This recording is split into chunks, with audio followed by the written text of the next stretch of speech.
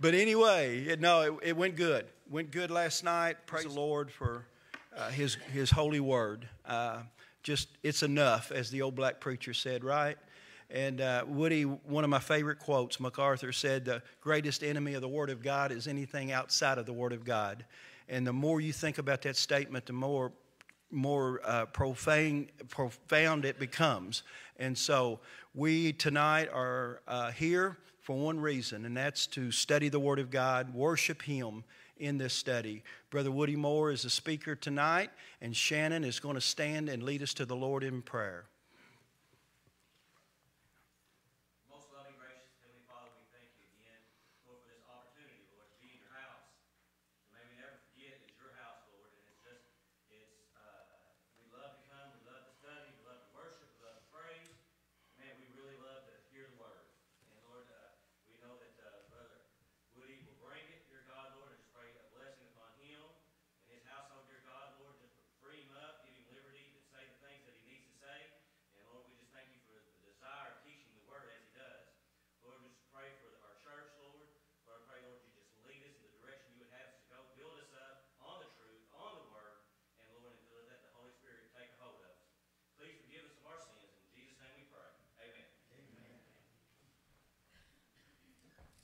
Good evening.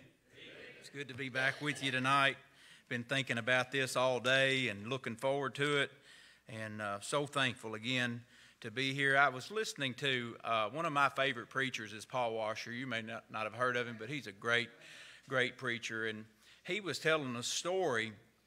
One of my favorite stories, and I hope I can get it right. But he was telling of a, of a great king uh, that had was going on a great on a journey on a far away uh, a far journey, and um, he had had he had his queen there with him, and he had he had her just the way he wanted her. She was perfect the way she was.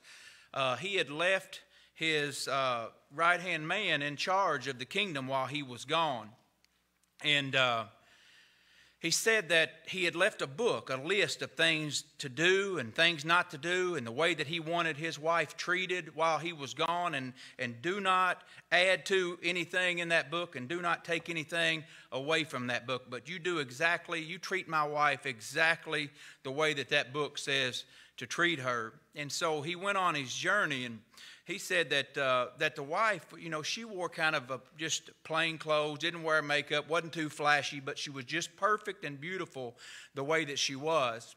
Didn't have to, didn't have to do all of those things. Uh, to be beautiful. She was perfect the way that she was. And his journey took him a little longer than he expected it to.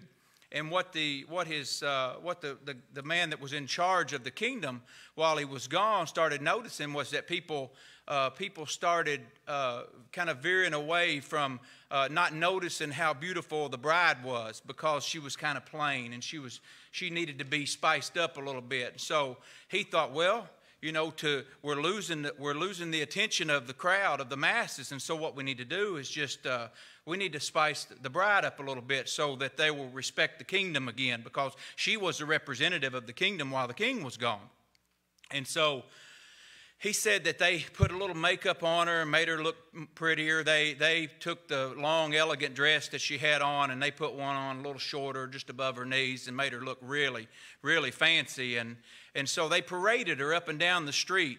And they noticed that the carnal, carnal men started coming back started coming back to the kingdom and noticing because the bride looked a little better than they than they thought that she did before and so what, what happened was when the king came home, he became so angry because he had left this man in charge of his bride. And he thought that he needed to make the bride look a little better than what she did by spicing it up. And this is exactly what's happened uh, to the church today. The king has left us with an instruction book, and we are to not vary from the instruction book it doesn't need to be spiced up. It is what it is, and it's enough, as Brother Gary said. Me and this lady was talking a while ago, and she said, I was raised in a conservative, Bible believing church, and I thought, isn't it a shame that we have to use the terminology Bible believing church as if there's any other thing? Really? I mean, if you're a church, you must be a Bible believing church, or you're really not a church, right? And so, and so what has happened today is, is that the church is has, has bought into the idea that we need to spice this thing up a little bit. We need to become more, we need to become maybe a little more worldly so that we can appeal to worldly, ungodly people and they'll be more attracted to the church. When that was never God's plan to begin with. Never God's plan to begin with, and it never will be. And so, what God wants out of the church is to be His bride, the bride that He bought and paid for through the blood of His Son, the Lord Jesus Christ. That what, that's what God wants the church to be. Amen? Amen. Turn with me, uh, if you will, uh, if you want to, in your Bibles. I want to begin uh, tonight in Galatians chapter 1, Galatians chapter 1. We hit on this just a little bit last night, and then we're going to get right into uh, this word of faith doctrine. I didn't mention last night um, the New Apostolic Reformation, which goes right along with uh, the word of faith. They hold to a lot of the same doctrine. I, I say it like this the, the word of faith preachers are the, are the white suits and black ties, the Benny Hinns of the world. The New Apostolic Reformation are a little more hip, skinny jeans and polo shirts, maybe muscle shirts, and a few tattoos. And, but they're no different. You know, they just, uh, they really, they teach the same, they, they teach the same heresies. And, and I want to share this with you just for a second, and then we'll get right into some of the videos and, and uh, what we talked about last night leading up to the little God's doctrine. Uh, verse 6, chapter 1, Galatians I marvel that you are so soon removed from him that called you into the grace of Christ unto another gospel, another gospel, which is not another, but there be some that trouble you and would pervert the gospel of Christ. To pervert something, when I say when I say pervert, what's the first thing that pops into your mind? If I if I was we was walking down the street and I looked across the street and said, I know that guy, he's a pervert. What would be what would be the first thing that pops in your mind would be that he is he is he is has a lewd or ungodly idea of sexual uh, relations or of sex in general, right? That's what you think of. Now, is what he's done, he has perverted something that God intended to be beautiful for a man and a woman in a monogamous till death till God by death shall separate us relationship, right? for procreation and for enjoyment in, in the marriage bond. Is that not right? Is that not what the sexual and you, and he has perverted that into something that is totally uh, uh, unlike anything God had planned for it to be. Is that not right? And so, what's Paul saying here? They've perverted, they've changed the God, they've perverted it into something that God had never intended for it to be. They perverted the gospel. And what these Judaizers was, were doing and, and you don't have to look very far in the book of Galatians and even back up there in the book of Acts. They were saying, yeah, we, we understand that we're saved by grace through faith and, we, and that it's a gift of God, not of works, lest any man should boast. But look, I'm telling you, those boys can't be saved until they're circumcised. Is that not what was going on? So they added to it, didn't they? And other things, keeping of, of the holy days and the, abstaining from eating certain foods and all of that, but they had perverted the gospel. But though, look what Paul says. This is how serious it is. But though we, I don't care, he says, I don't care if it's me or anybody with me or an angel from heaven even preach any other gospel unto you than that which we have preached unto you, let him be accursed. As we said before, so I now say again if any man preach any other gospel unto you than that which than that ye have received, let him be accursed. And that is the Greek is for uh, word for that is anathema. It's excommunication, is what it is. And then he goes on in verse 10, he says, Do I persuade men or God? Or do I seek to please men? For if I pleased men, I should not be the servant of Christ. And so the gospel tonight is being perverted. It's being perverted all over the, the United States and really all around the world. Uh, the, the gospel that is uh, uh, in, preached in a lot of churches today is nothing like, nothing like the gospel that the apostles taught and preached in the early church and the gospel that we're called to preach today. There's only one gospel. Paul told Timothy to preach the word. The only thing that has ever been, uh, that the preacher has ever been commissioned to preach. Not opinion, not self help, not self, self is the problem. You understand that? I get up every morning and look in the mirror and I see the biggest problem in my life. It's myself. It really is. Self help don't work. You need something outside of yourself in the person of the Lord Jesus Christ. And, and so th- we're called to preach the gospel, to preach the word, be instant in season, out of season, reprove, rebuke, exhort with all long suffering and doctrine, for the time will come, and we're in that time, that men will not endure sound doctrine, but shall after them their own lust heap up to themselves teachers, having itching ears, and shall be turned away from the truth, and shall be turned unto fables. And that's where we're at today. People just want their ear, ears tickled. They just want a good, uh, uh they want to leave church feeling good about themselves, not feeling any conviction. And I promise you, you'll never be saved until you realize you're lost. I'm, it, it, listen. Go down the street tomorrow, wherever you go. Go into the Walmart, college campus, wherever you go. Ask a hundred people, do you believe in God? They, 90%, I, would assume, 90 or so percent would probably say, Yes, I believe in God. Do you believe in heaven and hell? Yeah, I believe in heaven and hell. Do you, where do you think you're going to go? Well, I'm going to go to heaven. Why would you go to heaven? You know what the, the most uh, uh, um, the, the most frequent answer that you will get is because I'm a good person. And the fact of the matter is, you're not that good of a person. And I'm not that good of a person. In me, that is in my flesh, Paul said, is no good thing. Apart from the apart from the, the, the transforming power of the Holy Spirit in my life, I am poor, blind, wretched, naked, miserable, just like the church at Laodicea. That's what's in me. I, will prove it to you. How many of you here tonight would be comfortable with me Instead of showing these videos that I plan to show tonight, show a, a, a, video of every thought that you had over the past seven days. Not over your life, just over the past seven days. Anybody here comfortable with that? I'm not comfortable with that. You know why? Because that, that makes us take a look on the inside of us. And on the inside of us, really, we're not that good. That's why we need a Savior. And until people understand that they're lost and in desperate, desperate need of a Savior, they're never going to reach out. You remember Jesus and the rich young ruler. Good master, what must I do to inherit eternal life? And he said, the first thing he said, Why you call me good? There's no one good but God. He said, You know what the law says? Do not commit adultery, do not steal, do not, I forgot what he said, about four of them he named there. And then you know what the next thing out of that boy's mouth was? I'm, I'm, I'm good.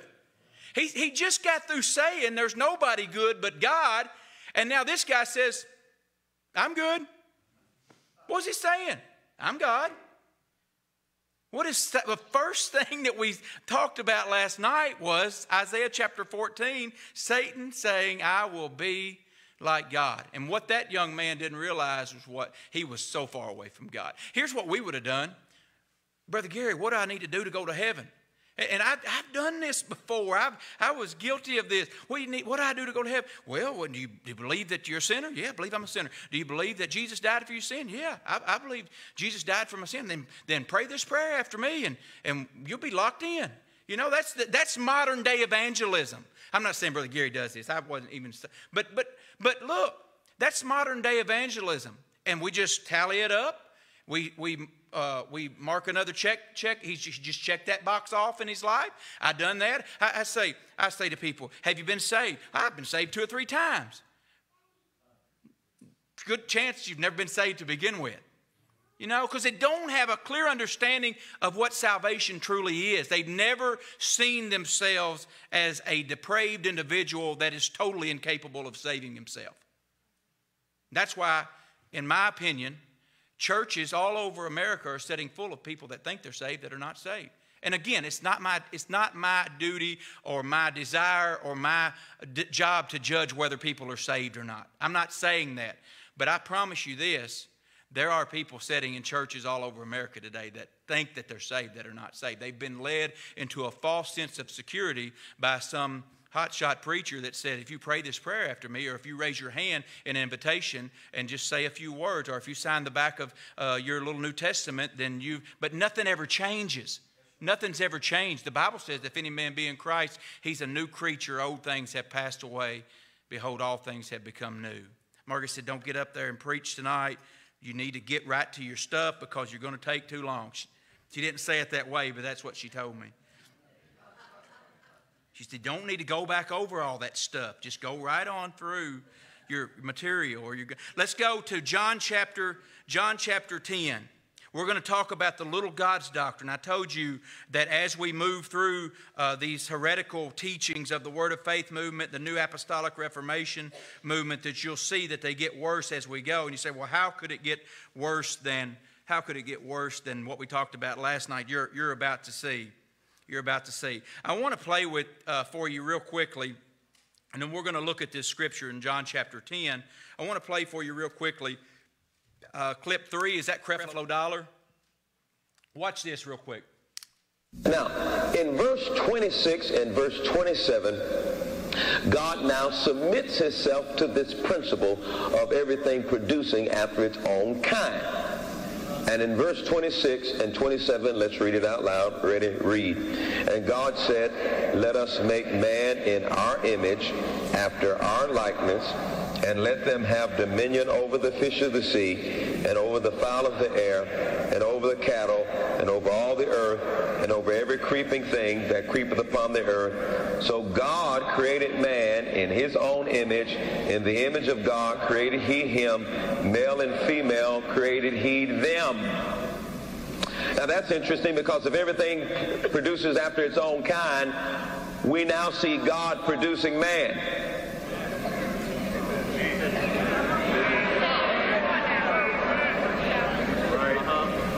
And if God now produces man and everything produces after its own kind,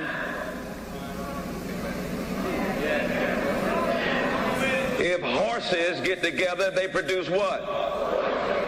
And if dogs get together, they produce what? If cats get together, they produce what?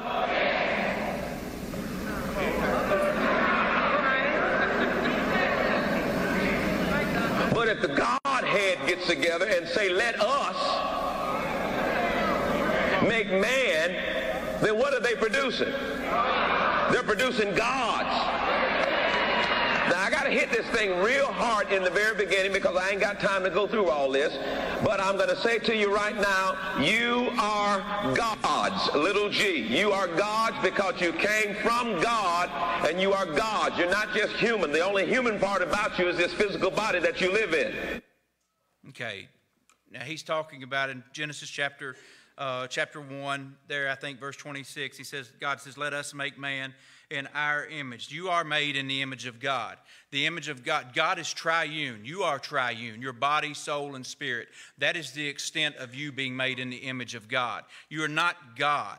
You are not equal to God. You're not co equal to God. God is triune Father, Son, Holy Spirit. Coexisting, co equal. That's about as far as I can go in explaining the Trinity to you. But I understand this the Trinity is a biblical concept. And even though I can't get my pea brain wrapped around it, that doesn't mean it's not true. Okay? And now, now we can try all these different ways uh, to try to explain the Trinity, and, and I would uh, do a horrible job at doing that. But we are not God. We are not God. Now, where does that come from? How in the world could, could, a, could a preacher come up with a concept such as this? Now, John chapter 10, uh, verse 30. Let's look at verse, start in verse 30. John chapter 10, verse 30. Jesus said, I and my Father are one. And when he said this, steam began to roll out of the Jews' ears. Then the Jews took up stones to st- again to stone him. Jesus answered them, Many good works have I shewed you from my Father. For which of these works do you stone me? The Jews answered him, saying, For a good work we stone thee not, but for blasphemy, and because thou that thou, being a man, maketh thyself God. Jesus answered them, Is it not written in your law, I said, Ye are gods? If, ye call, if he called them gods, unto whom the word of God came, and the scripture cannot be broken, say ye of him whom the Father hath, sent, sanct, hath sanctified and sent into the world, thou blasphemest, because I said, I am the Son of God. So this is where it comes from. Now, you have to remember what we said last night study to show yourselves approved unto God, a workman that needeth not be ashamed. And what's the last part of that? Rightly dividing the word of truth. Rightly divide. Now, you could say, well, I can see where somebody read that and, and like, well, it says it there. Yeah, it says, ye are gods. Turn with me now to, to Psalm, the Psalm, the Psalm chapter 82, Psalm chapter 82. Jesus is quoting out of Psalm chapter 82. Psalm chapter 82, and if you have subheadings in your Bible, it should say something like God and the judges. Um, if it doesn't, it says something like that in the subheading. Some, some of you have, have that. Okay. Now, so look what he says here. Let's read the whole psalm and get the context of what Jesus was saying. And you never want to take the Bible out of its context. You always want to study it and to understand what he's saying when he says something or when the, the Word of God. You can make the Bible just about say anything you want it to say if you isolate Scripture and set it apart and say, this is what the Bible, well, the Bible says this. Look here what it says. God standeth in the congregation of the mighty. He judgeth among the gods. How long will ye judge unjustly? Who's he talking to? He's talking to somebody. How long are you going to judge unjustly and accept the persons of the wicked? Defend the poor and the fatherless. Do justice to the afflicted and the needy. You think he's talking to gods, plural? He's talk, but he's talking to someone here. And I'll, I'll submit to you right now that he's talking to the judges. If you remember back before there was kings, uh, the last, my goodness, there's a mess. The last verse in the book of Judges says, In that day there was no king in the land, and everyone did what was right in their own eyes. Is that not where the church is today? It's just a free for all. Everybody just does whatever they want to do. Defend the poor and the fatherless, do justice to the afflicted and needy Deliver the poor and needy. Rid them out of, that, out of the hand of the wicked. They know not, neither will they understand. They walk on in darkness. All the foundations of the earth are out of course. I have said, Ye are gods, and all and all of you are children of the Most High. But ye, like all men, ye shall die like all men. Do gods die? Does God no, he's from everlasting to everlasting, right? But ye shall die like all men and shall fall like one of the princes. Arise, O God, judge the earth, for thou shalt inherit all nations. He's speaking of the judges, and because, because they ruled over the people, the people saw them as gods. That's who he's talking about here. And Jesus says, you, you, you believe that? You believe what the psalmist says? That, that God called them gods, and, and the word, the Greek word is, or the Hebrew word is Elohim. But I'll tell you this also, and I was studying this this afternoon. There's, there's three places, at least in the book of Exodus, that the word for the word translated judges, talking about the judges, is translated Elohim also. So, so you can't just say that he's got to be talking about the Godhead. He's talking about the judges, and you have to go back to Psalm chapter 82, which Jesus was clearly quoting from, and understand what he was saying when he quoted that scripture. He's not saying that you are gods. He's not saying that you are gods. Now we have some more. Any questions on that? Anything you want to add to that, Brother Gary? Please do. Yeah, exactly. Yeah.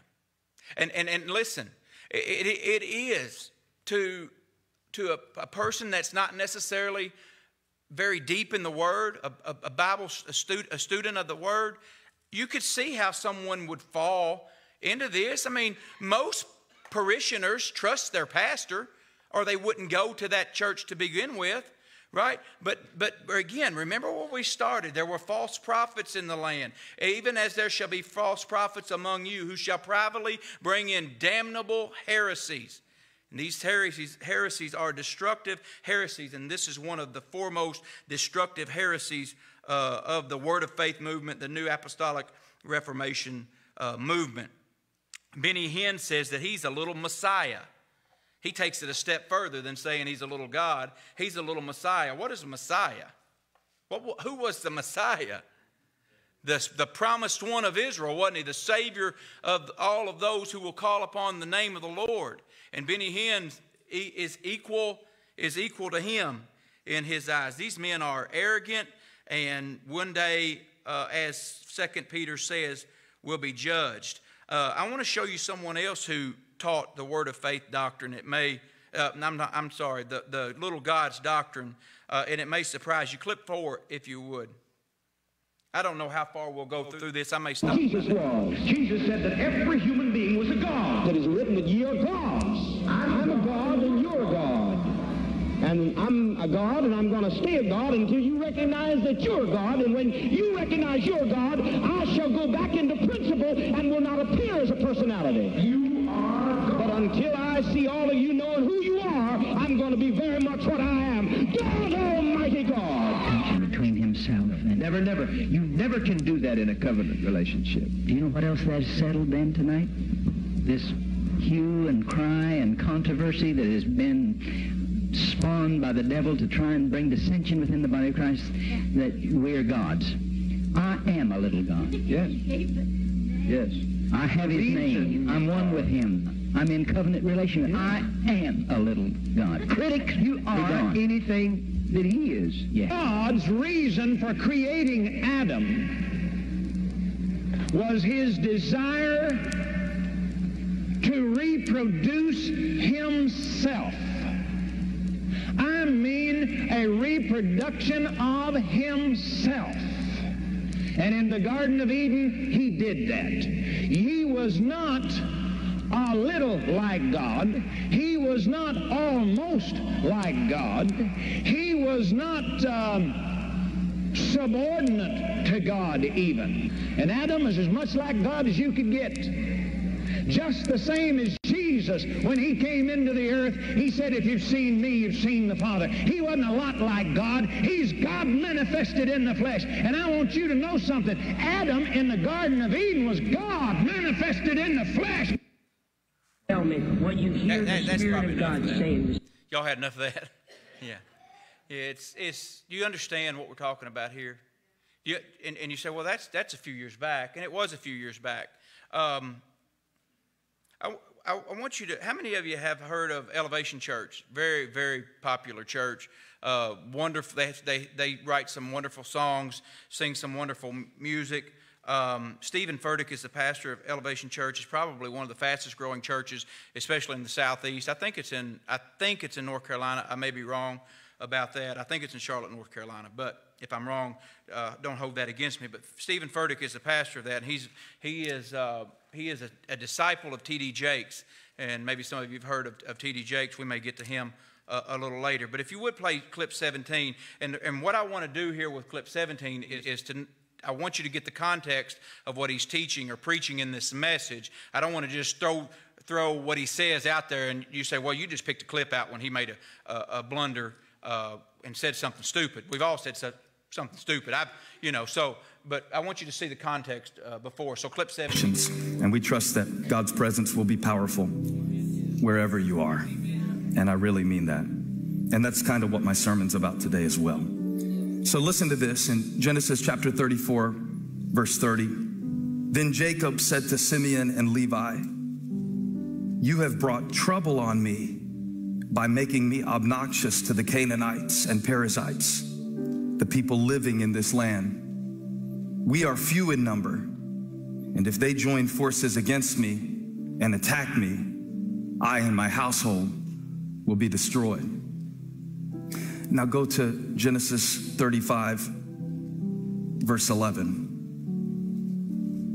And God said to him, I am God Almighty. Be fruitful and increase in number. A nation and a community of nations will come from you, and kings will be among your descendants.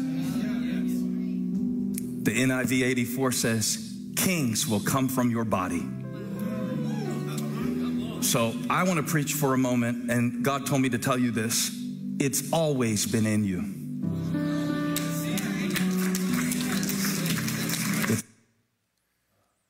First red flag was somebody tell me. God told me to tell you this. God told me to tell you this. Now, so you got the context. Jake, he's talking about Jacob there in, in chapter 35 of Genesis. Jacob, uh, to, God commanded him to go back to Bethel. Uh, and he had and he had messed around. And chapter 34 made a mess of things and went uh, ended up in Shechem. Oh, ended up in Succoth. And uh, Shechem uh, raped his daughter, if you remember that. And two of his boys went and and uh, well, actually, all of his boys ended up going back over there. They circumcised them guys that were in that were in Succoth, and then they went back in and murdered them all. It was just a big old bloodbath mess. And uh, Jacob says, "Because you've done this, they're going to everybody's going to hate us in this land." And they, so they go back to Bethel, and you know what happens when he goes back to Bethel? It's back to the place where he got saved, really, back in chapter twenty-five, maybe uh, of Genesis. But I want you to see the rest of this, if you would. Play what is that next clip? I, I'm sorry, it's. Uh, 18. It's 18, yeah. Same message now.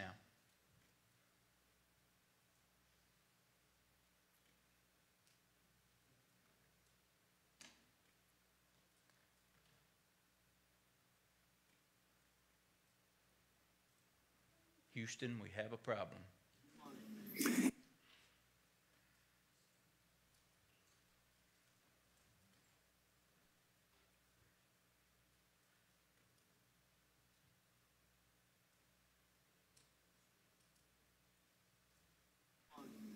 Is not to let people put anything on you. And I'm not just talking about failure, I'm talking about success. Jacob's biggest issue is that he always identified himself by something external. So when it came time to make peace with Esau, he sent gifts ahead of him because he thought maybe my gift will bring me peace. And some of us are like that. We always think we have to make a good impression. We're always living in an avatar. We're always living in some version of ourselves that seems presentable. Or we're always identified. I talked to you about this last week about what we can do. And so, in doing what we can do, other people will identify you by what you can do. And then they will limit you by what you can do. And then you will begin to think that you are what you do. And then you will lose yourself and gain the world. And Jesus said, What good is it? Don't let anybody put anything on you that will cause you to forget what God put in you. That goes for your struggles. See, I think Jacob, I think Jacob, his name, his name means supplanter, but his new name, Israel, is almost just as bad. It means struggles with God. So he's trying to get him to see you've never been fighting with Laban. You've never been fighting with Esau. The fight that you have to win for your life has not been with them. It's always been in you. Because if you believe it's in you, there's nothing anybody can put on you that can cancel what I put in you. Before you were born, I appointed you a prophet to the nations. It's always been in you. It's always been in you. That teaching gift has always been in you.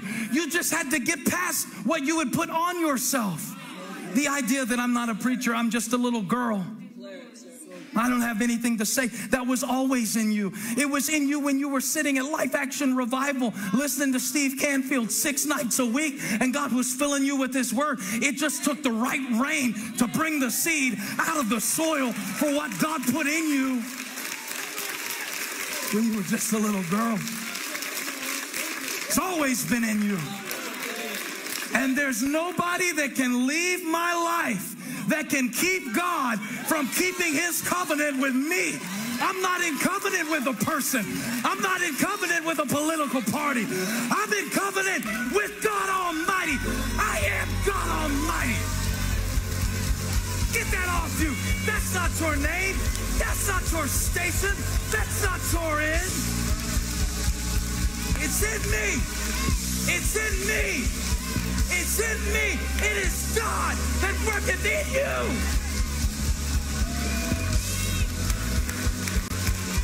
It's always I wish you, I wish uh, you could have seen it. He's up there pounding his chest. I am God Almighty. Um, this is where this is where this comes from. I have a quote from him. I thought I had a I thought I had a clip, and I looked through my stuff earlier uh, in the week, and I didn't have it. But another another instance when he uses this uh, ideology or this theology, uh, speaking to Moses, when God said to Moses, "I am sent you," you tell him, "I am sent you." What he was saying is that you are as I am. He was saying that you are a God. You understand how heretical this is, and how serious? how serious of a problem uh, that it is. Um, and we could just go on and on. I, I, think I put a new clip, and maybe Brother Gary has already shown uh, this to you. Jesse Duplantis, I don't know if you, he, I call him the Raging Cajun, um, but he, uh, he is um, uh, clip 25. Jesse Duplantis is, and I want to set this up real quick.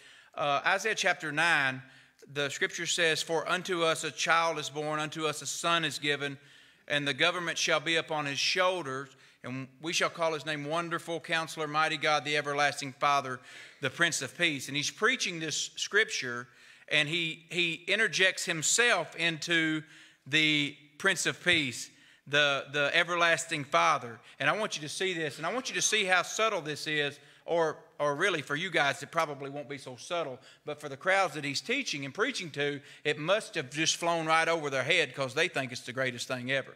So, the book of Isaiah, chapter 9, I want to read verse 6 For unto us, Isaiah 9, verse 6 For unto us a child is born, unto us a son is given, and the government shall be upon his shoulders and his name shall be called Wonderful, Counselor, the Mighty God, the Everlasting Father, the Prince of Peace.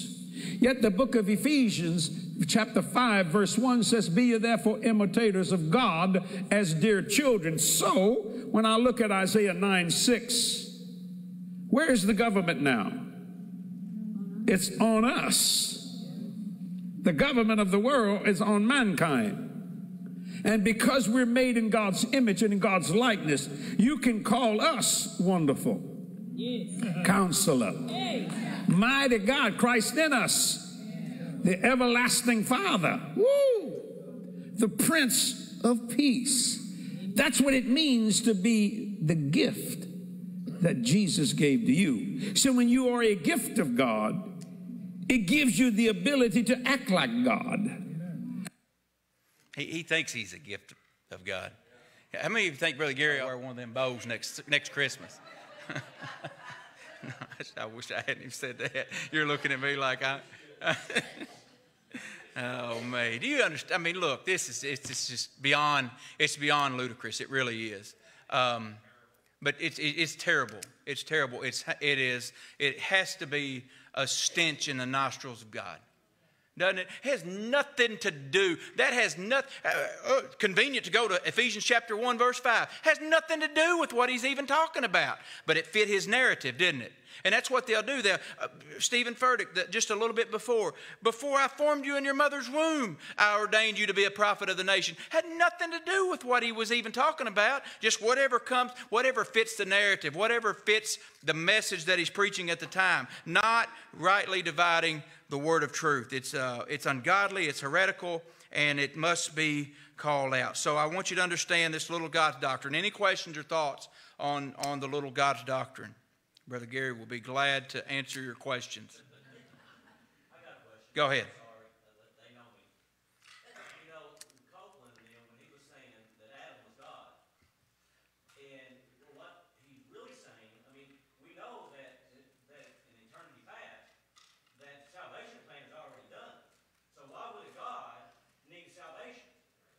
Exactly. Yeah, and, and, and, and another thing is, is Adam fell into sin. Could, could God have fallen into sin? No. Um, it, it, it, it, when you ask any kind, any kind of spiritual minded questions at all, you, you come back to this idea that this is totally heretical. It's, it's, it's, it's complete heresy. But I'm telling you guys, This is taught to the masses all over the world, not just in the United States, but all over the world. Uh, Paul Washer's one again. I, am quoting him again, but he's a great missionary around the world, Peru and in other places. But he says it's, it's infiltrated churches there. I mean, they're they're they're not just sitting down there in Charlotte, North Carolina, or or Dallas, Texas. They're they're think they're evangelizing their version of the gospel all around the world too. It's everywhere. It's everywhere, and it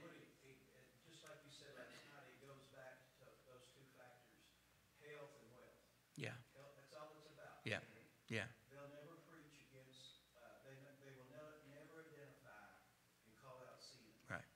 They got to keep everybody happy, everybody on their, on their train. Mm-hmm. And so they promise them health and wealth and whatever it takes to get that done, and they bring in their millions and millions yeah. a year, that's what they'll do. Exactly. They could care less about your soul, they could care less about your sick, they could care less, and, and even though they preach this health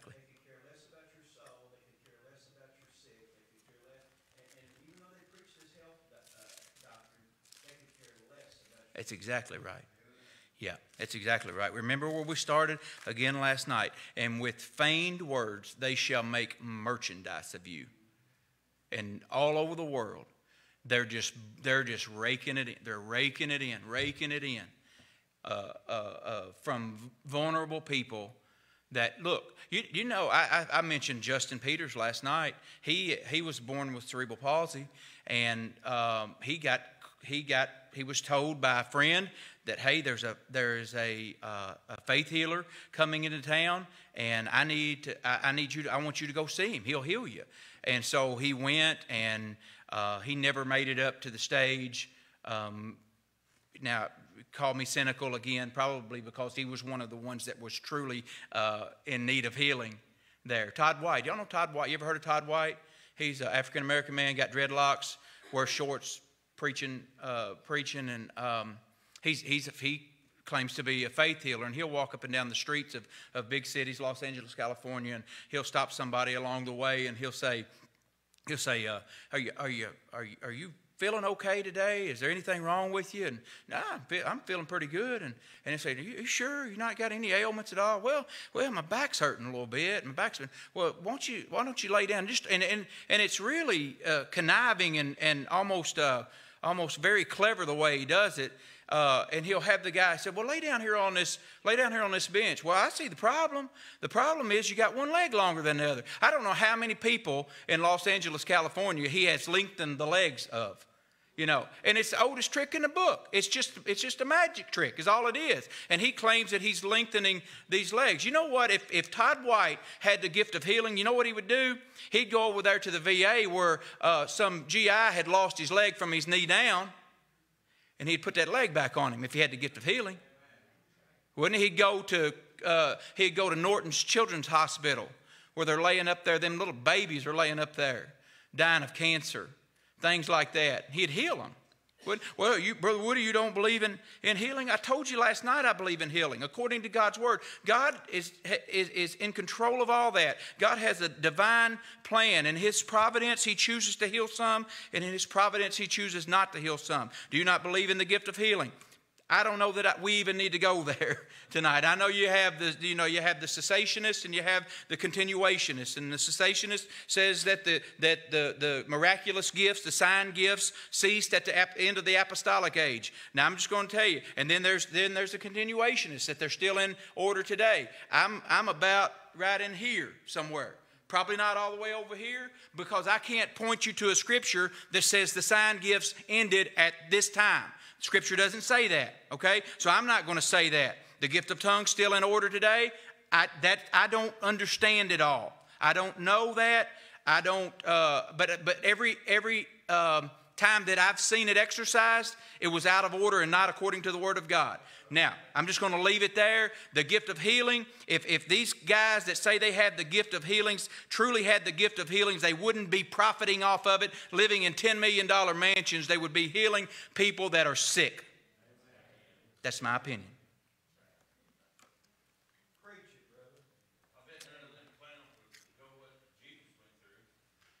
I'm sorry?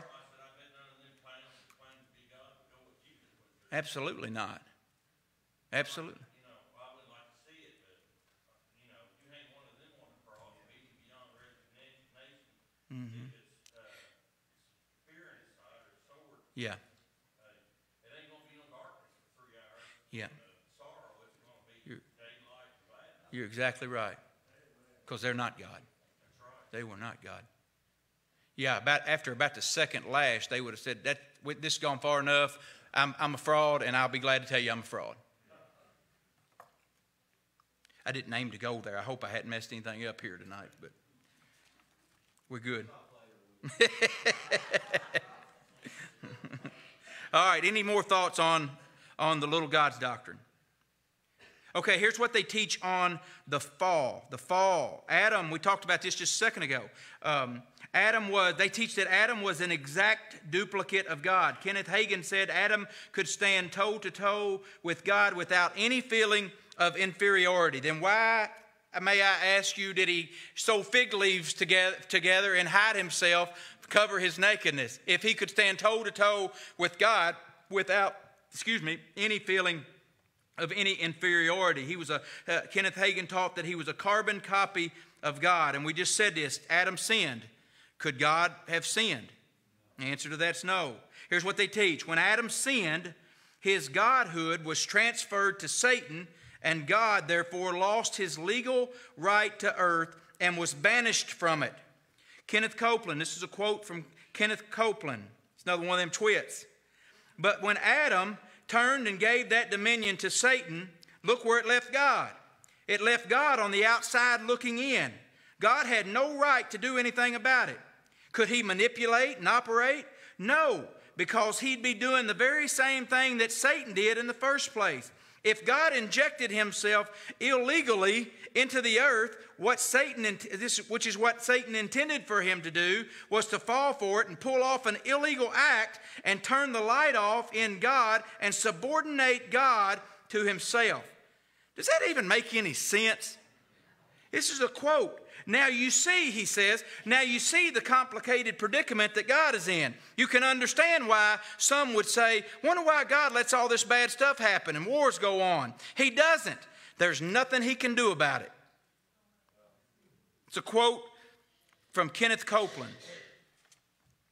Satan is now the legal God of the planet. Now, Second Corinthians, we talked about this, I think, last night a little bit. Second Corinthians uh, chapter 4, I believe it is, it says, For the God of this world hath blinded the minds of them that believe not, lest the light of the glorious gospel should shine unto them, right? When I'm telling you, when the light of the glorious gospel shined unto you, the lights went on, and you was like, boy, that's what I want. I need that Savior. I need a Savior, right? Isn't that what happened to you? The light, the lights went on. Lest the light, but but now the God of this world, you say, well, why wouldn't everybody? Why wouldn't everybody come to Jesus? Because the God of this world hath blinded their minds, has blinded their minds of them that believe not, lest the light of the glorious gospel should shine unto them. Now, the world there, world in that passage of Scripture, is the Greek word is aeon, and it means age.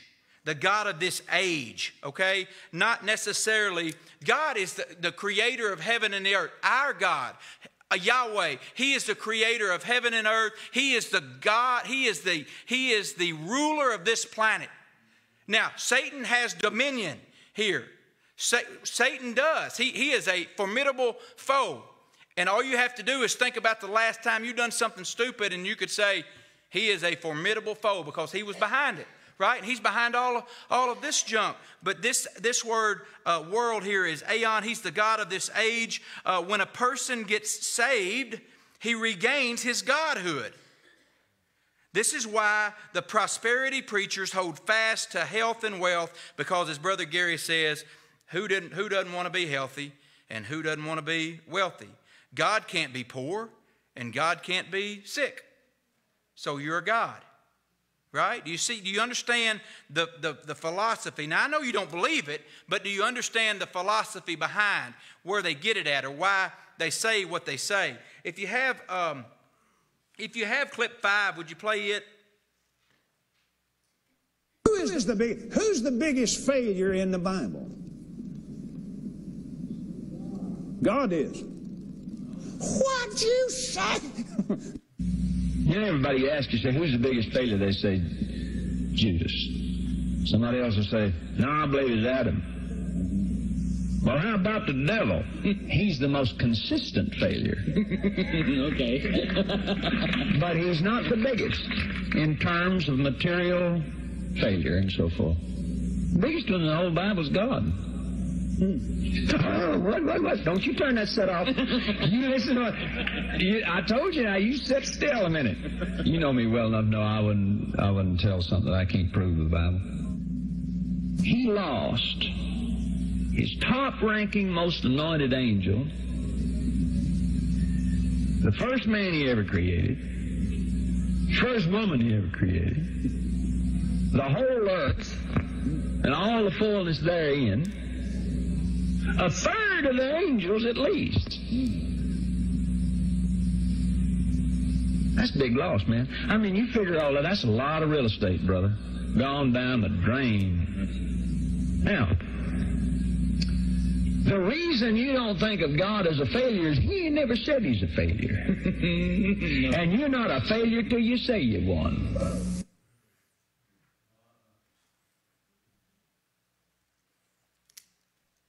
I, I feel the same way. I, some of this I feel uncomfortable even showing. I really do. You're not a failure. The reason why God's not going to say he's a failure because he's never failed at anything. Yeah. And, and, and look, he didn't lose Adam. Adam willfully chose to sin against God. He didn't lose Eve. Eve willfully chose to sin against God. But he did this. He redeemed them. You know what he did? Genesis, that right there at the end of Genesis chapter 3, one of the most important verses in the Bible. Two of the most important verses in the Bible are in Genesis chapter 3. I will put enmity, verse 15, between thee and the woman, between thy seed and her seed. That's a different story for another day. I know Brother Gary's taught you on that. But right there at the end of Genesis chapter 3, one little verse said, And God made coats of skin to cover their nakedness. You understand what happened there? Something had to die. Something that had absolutely nothing to do with their sin.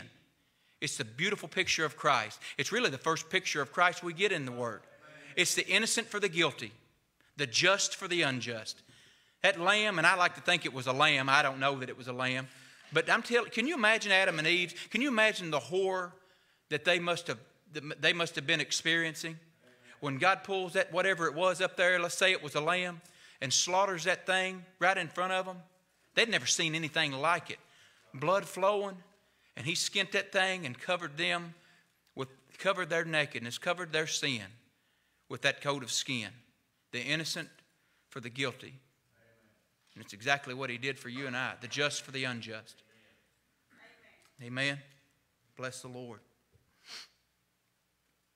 That's what they believe about the fall. Basically, God reproduced himself in Adam um, Jesus, uh, Jesus said, I am. This is another quote from, from Kenneth Copeland. I wish I had it on tape. I couldn't find the video, and I, I had it on audio, but I didn't put the audio on here. But it says, Jesus says, I am. Uh, and he said, when Jesus said, I am, I just smile and say, I am too.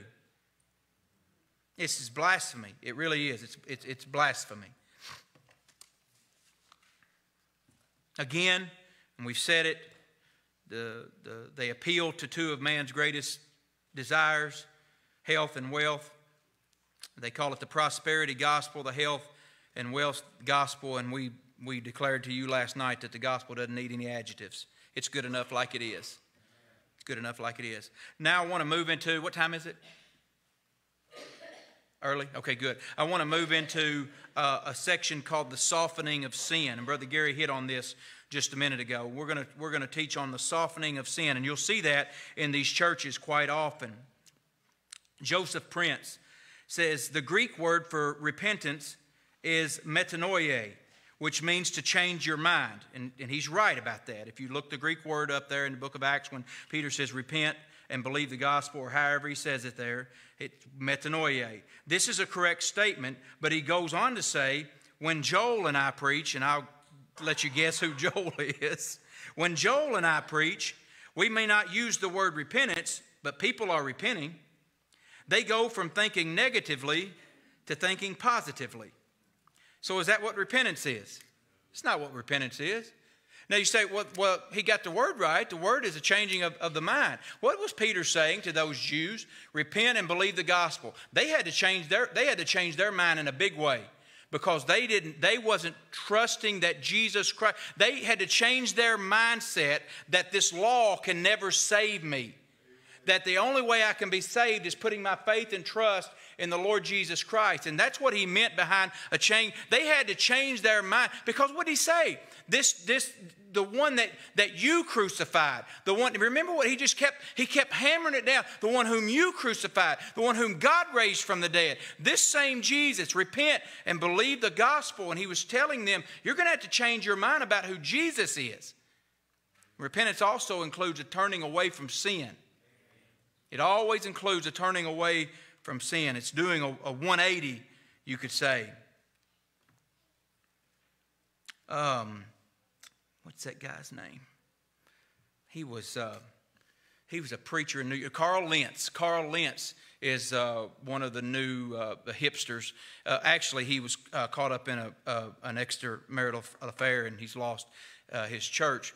And, and, and look, I, I know I know there's been other men of God that have, have done that, and and God's forgiven them, and and that's you know I'm not I'm not saying that he's a, he's a dying dying and going to hell because he's he got he got caught up in a mess. God, if if he's repented of that and God has forgiven him, then then God is gracious a gracious God and has forgiven him. But he was asked by Oprah Winfrey at the height of his ministry, which was about four years ago. He was asked, "So you're so you're saying that Jesus, that that for a person to be to, for a person to go to heaven, they had to be born again. They had to be born of of the Spirit. They had to trust Jesus Christ as Savior." And he said, "No, I'm not saying that at all." Not saying that at all. This is their mentality, this is their uh, mindset, and they soften the blow of sin. If you would put clip 19 in, T.D. Jakes, T.D. Jakes, I think you'll find this interesting. A question coming in from uh, Black 185 in our in our uh, digital community said, "Do you do you think I'm assuming uh, the LGBT community and the Black church can coexist?" Absolutely. I, I, let me push that question because that, that's sort of an obvious yes. Church ain't turning nobody away.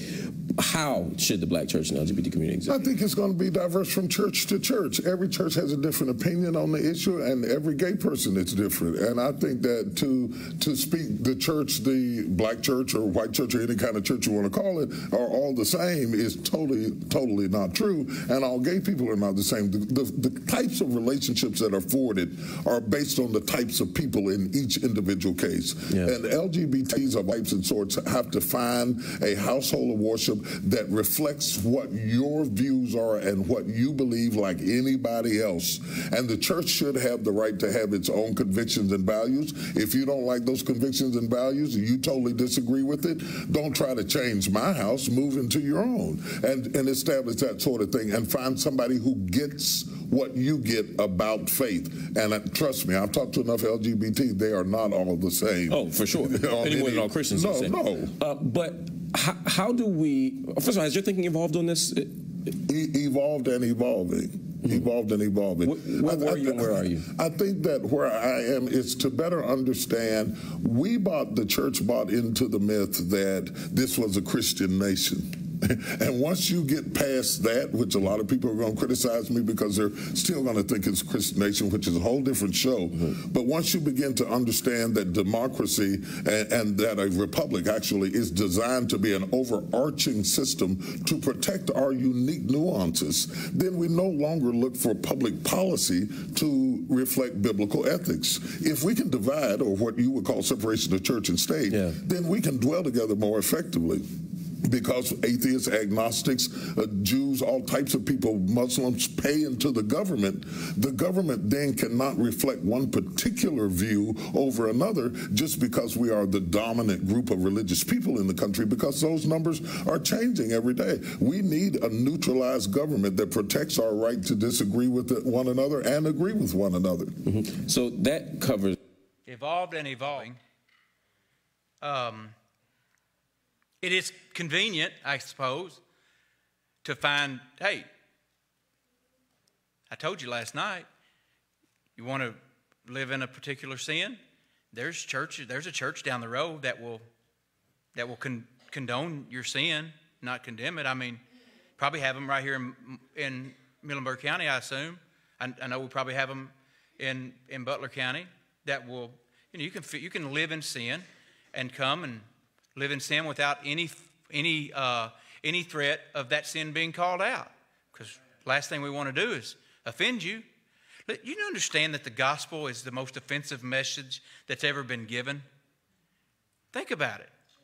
I, I heard MacArthur one time say that he said a guy was questioning him and he said, "Does it bother that bother you that you offend people?" He said, "Not at all. It's my job to offend people." And he, he, and he said, I don't want you to think that I'm being a smart aleck and saying that I go around trying to offend people. But he said, the gospel message that we are commissioned to preach is an offensive message. Jesus saith unto them, I am the way, the truth, and the life. No man cometh unto the Father but by me. How much more offensive could you get? Think about it. Go try that one at Western Kentucky University tomorrow. Get you a microphone and stand out there in the middle of them kids coming in and preach that message. They'll be throwing whatever they can find to throw at you because it's an offensive message. Convenient. It's convenient to find a church that will.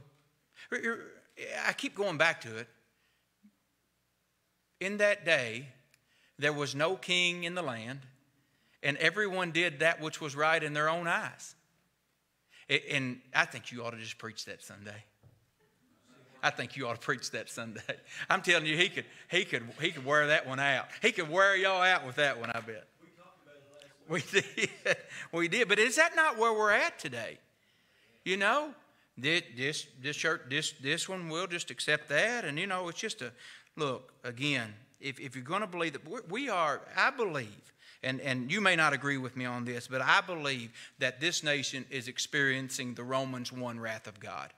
We are right in the middle of experiencing the Rome. God has, is withdrawing himself from this nation because we have, we've done exactly what you, you look at, if you looked at Romans 1, and, and again, just real quickly, I promise you I won't keep you there long, but you look at what, for the wrath of God is revealed from heaven against all ungodliness and unrighteousness of men who suppress or who hold the truth in unrighteousness. Now, this wrath of God, and I know Brother Gary's taught you on this, it's not the, not the wrath of God. When you think of wrath, you think of just, just losing their mind and just going crazy and wearing someone out. This is the wrath of withdrawing himself or the wrath of abandonment. And look what he says here because that which may be known of God is manifest in them, for God hath shewed it unto them, for the invisible things of him from the creation of the world are clearly seen, being understood by his eternal power and Godhead, so that they are without excuse. Verse 21 But, but because when they knew God, they glorified him not as God, neither were thankful, but became vain in their own imaginations, and their foolish hearts were darkened. Professing themselves to be wise, they became fools. Fools. The Greek word for fools there is moraino they became morons. That's the word we get from moraino. Morons. And, and changed the glory of the uncorruptible God into the image made like to corruptible man. This is the epitome of idolatry. You know what the greatest sin in America is today? It's idolatry, making a God in your own image. My God says that it's just fine if I want to live a homosexual lifestyle if I want to live a drunken lifestyle, if I want to, because of course he does, because you made him up. It's idolatry. Now, look what happens here. This is the downward spiral of, of, of a nation or a people as, they, as God withdraws himself. Wherefore, God gave them up to uncleanness through the lust of their own hearts to dishonor their own bodies between themselves. So here you have the, the, the you could say, the sexual revolution. That started back in the 60s, didn't it? Who changed the, the truth of God into a lie and worshiped and served the creature more than the Creator who is blessed forever. Amen. For this cause, God gave them up unto vile affections. For even their women did change the natural use into that which is against nature. You don't, have, you don't have to be real spiritual minded to figure out what he's talking about here. So now we have the homosexual revolution.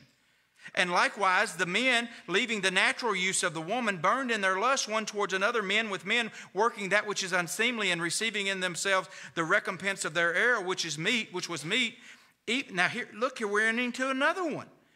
And even as they did not to like to retain God in their knowledge, God gave them over to a reprobate mind to do the things which are not convenient. This mind of completely void of judgment. This is where trans, transgenderism and pedophilia and all of these things enter in. So we started with a sexual revolution, then we start, then we moved into a, a homosexual revolution, and now we're moving right into this, this complete mind that is completely void of judgment. How many of you have said uh, in the last two years, I cannot believe what I'm seeing? How many of you ever dreamed in a, eh, how many of you ever even dreamed that these teachers over here at Muhlenberg High School, Muhlenberg County High School, would have to deal with a young man or a young woman wanting to use a, a, a to want to use one of those little things that the cats use the bathroom in because they want to be a Furby or whatever you call them. I had a, I had a lady that goes to our church send me a video, and I wish I'd never seen it, but she was working out at a, at a um, one of those places you work out at, and what do you call them? A gym, maybe, right? Yeah, a gym. So she was working out at this fitness center, right? And, and there was this guy dressed like a cat on the treadmill next to her, licking his arms and just you can't you can't make this stuff up. What what we just read about it in Romans chapter 1. Did we not? A mind that is completely void of judgment. And that's where we're at. You say, well, has God given up on America? I don't know. That's not for me to say.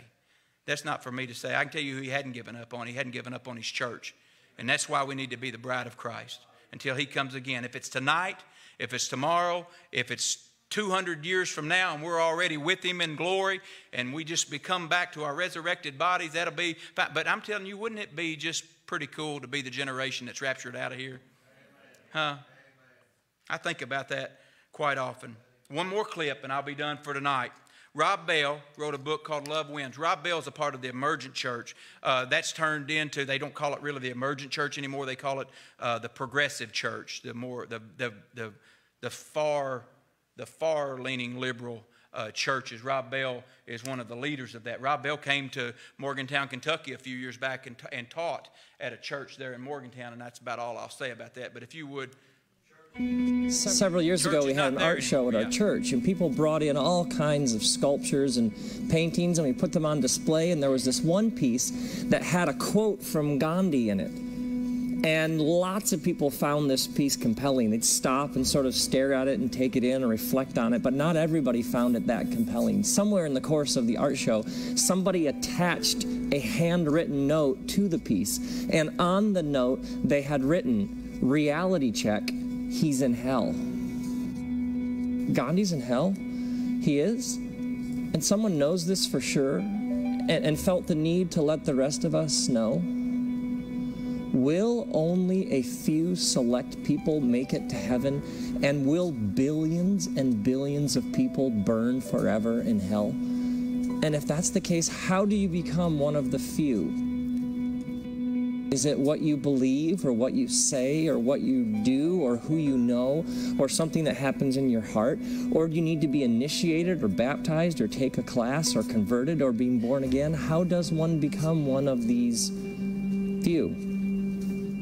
And then there is the question behind the questions, the real question what is God like because millions and millions of people were taught that the primary message, the center of the gospel of Jesus, is that God is going to send you to hell unless you believe in Jesus. And so, what gets subtly sort of caught and taught is that Jesus rescues you from God.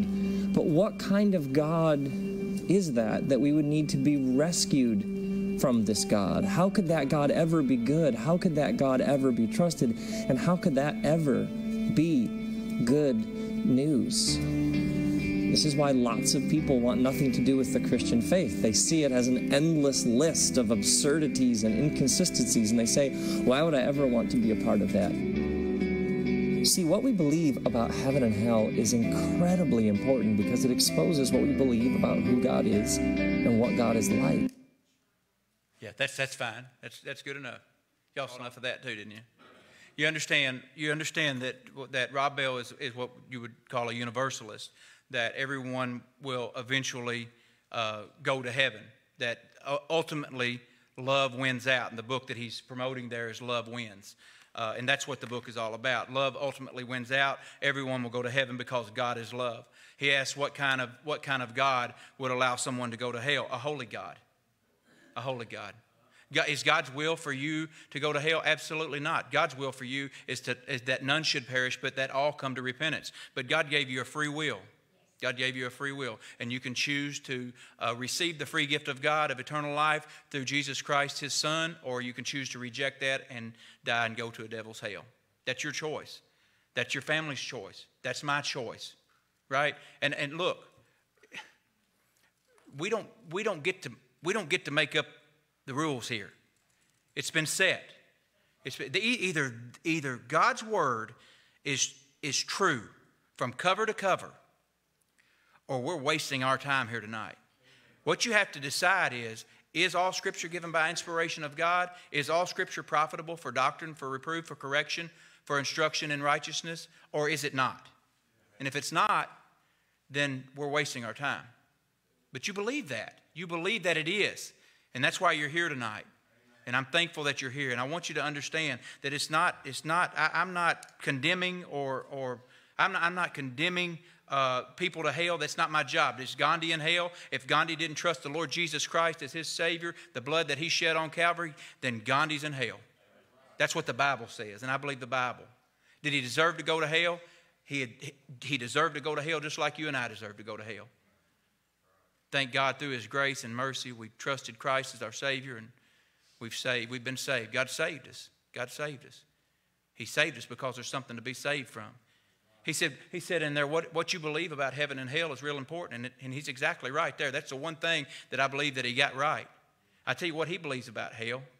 He's, he's also, uh, what, what would you call it, an annihilationist, same as a, same as a, uh, a Jehovah's Witness or a Seventh day Adventist. Uh, they believe in annihilationism, which means that basically if, you, if you've never been saved and you die apart from Christ, that you just, you just disintegrate. You just, you're just annihilated. Um, that's, I guess that's kind of convenient also if you want to live a life apart from God, you know. And, that, that, and, that, and that's everywhere. Now, again, I'm not, I'm not making, you, you understand, I'm not just set up here making stuff up.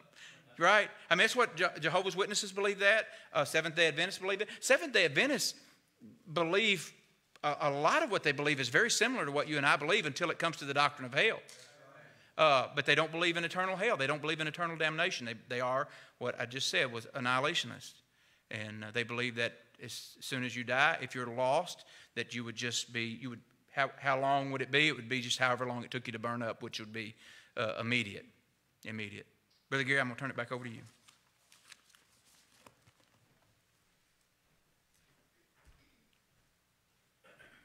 Why don't we give God a big hand clap of praise, okay?